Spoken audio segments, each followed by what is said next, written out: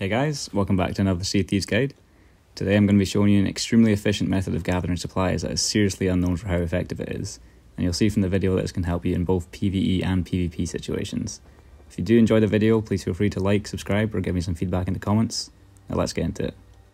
So as most of us are aware, you can find barrels or flotsams in the water whilst you're sailing around.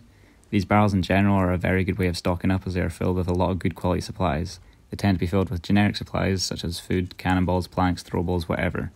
But what most people don't know is the type or quantity of supplies that you receive from these barrels can change depending on where you are or what you are doing. The particular type of barrels I'm going to be highlighting are what I call fleet barrels. These are barrels which are primarily for fighting PvE ships, so are typically filled with either 15 to 30 cannonballs or planks per barrel, which can total up to a crazy amount altogether. From this set here, I managed to get 72 cannonballs and 61 planks, these are insane numbers of supplies given how easy it is to obtain them from the barrels by simply harpooning them to your ship and taking the supplies from them.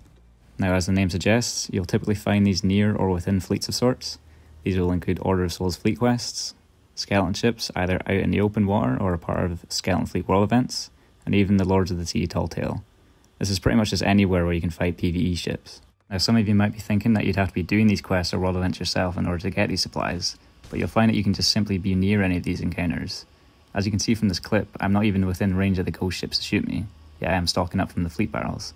So if you're ever sailing by one of these encounters and see some barrels, you can quickly stop by for a few seconds and stock up on some good supplies. Finally, if you compare this method with a storage crate, it is obscene how quickly you can obtain a large number of supplies from fleet barrels.